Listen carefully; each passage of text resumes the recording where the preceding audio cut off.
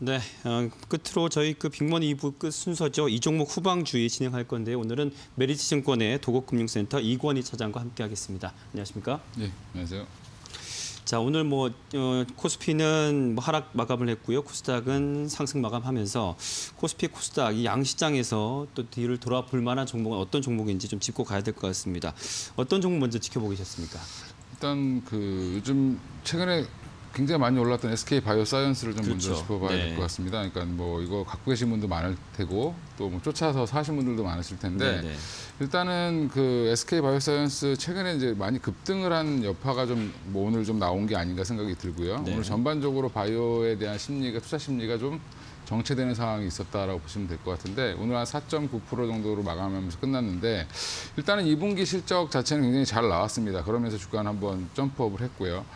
하반기에도 여전히 이제 CMO라든지 CDMO 관련된 매출 기대감은 여전히 좀 높아질 걸로 예상을 하고 있는데 특히 이제 마스트라제네카라든지 뭐 그의 노바백스까지 이제 CDMO 방식으로 생산을 본격화할 걸로 예상을 하고 있기 때문에 일단 그런 부분들도 주가에 일정 부분 반영은 되어 있지만 하반기에 실적이 뭐 꺾이거나 부러지거나 할 가능성은 좀 적다라고 보고 있습니다. 그래서 지금은 어떻게 보면은 단기 급등에 따른 가격 조정 정도로 보시면 되고요. 오히려 이제 20만 원대 초반이라든지 뭐 22만 원 선까지 좀 밀린다라고 하면 오히려 좀 매수 기회를 주는 게 아닌가 생각을 하고 있고 향후에도 백신 관련돼서는 정부 지원이라든지 이런 것들이 지속적으로 이루어질 거기 때문에 뭐 당분간은 좀 추세가 좋아지지 않겠나 이렇게 생각하고 있고 우리나라에 어떻게 보면 백신 쪽에서는 일 1위 기업이기 때문에. 예, 그런 네. 부분들은 좀 감안하시고 뭐 5일선 조정 정도라고 생각하시고 접근하시면 괜- 괜찮을 것 같습니다.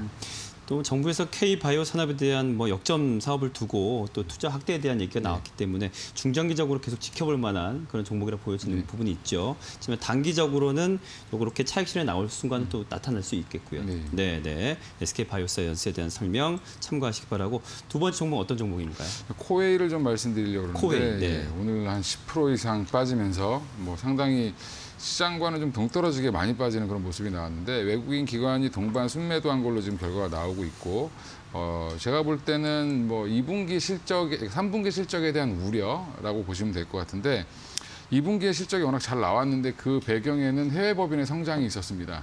그러니까 국내는 정체 상태고 오히려 이제 말레이시아를 비롯한 해외 법인에서 성장이 이루어지면서 2분기 실적이 좋았는데 오히려 지금 이제 말레이시아가 6월부터 6월 중순부터인가 이제 락다운을 시작을 해서 지금 사실은 아직까지도 락다운 중이기 때문에 네. 이런 부분들이 3분기 실적에는 악영향을 끼치는 게 아니냐라는 얘기가 좀 나오고 있다라고 보시면 되고 그런 부분들이 오늘 표면화되면서 좀 시장에서 좀 충격이 좀 나왔다라고 보시면 될 것 같은데 일단은 해외 법인에 대한 매출 감소 이런 것들이 우려가 일시적으로 반영이 되면서 주가는 뭐 조정을 받을 만큼 받았다라고 보고 있고요. 오히려 근데 이게 사실은 코웨이를 쓰시는 분들은 아시겠지만 대부분 구독 경제 비슷하게 이제 매월 내는 거기 때문에 네, 네. 말레이시아에서 신규 고객 확보는 어렵지만 기존 고객들이 굳이 떠나간다는 생각은 뭐 굳이 할 필요 없다라고 봤을 네. 때는 뭐 2분기보다는 더 좋아지긴 어렵겠지만 사실은 2분기 정도까지는 충분히 나오지 않겠나라는 생각을 하고 있고요. 그런 부분에서는 이번에 빠진 하락은 또 다른 기회로 작용을 할 수 있다고 생각을 하고 있습니다. 네. 오늘 10% 넘게 빠졌는데 여기 오히려 매수 기회, 기회가 될 수도 있다라고 보신다면 이게 이제 주의보다는 안전 네. 둘 중에 선택하라면 그렇게 네, 볼수 있다는 점 참고하시기 바랍니다.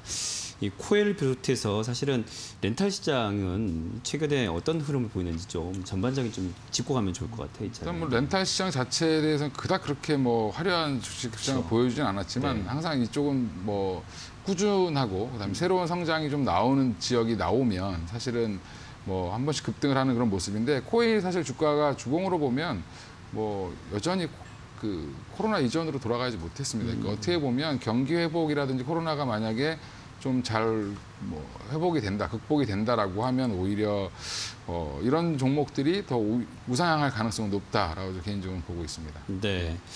렌탈은 또 다른 업계긴 하지만 롯데 렌탈 최근에 또 이슈가 돼가지고 네, 그쪽은 좀 어떻게 보십니까?